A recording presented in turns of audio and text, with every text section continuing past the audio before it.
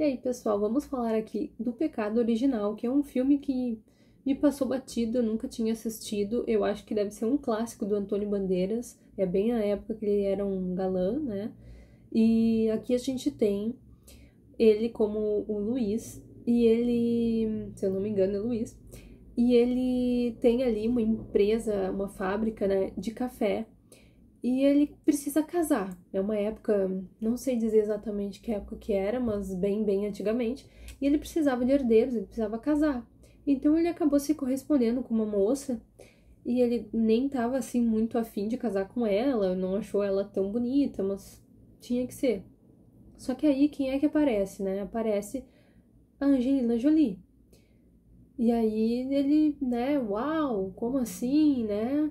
E tudo mais aí tudo são flores.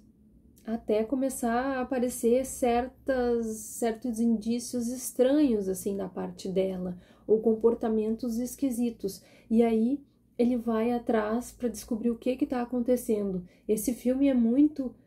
É tipo um, um pecado original mesmo, porque é uma coisa assim, o que o amor e aquela atração carnal, uma atração fatal, é capaz de fazer com duas pessoas, assim, até onde que as pessoas vão numa loucura dessas, assim.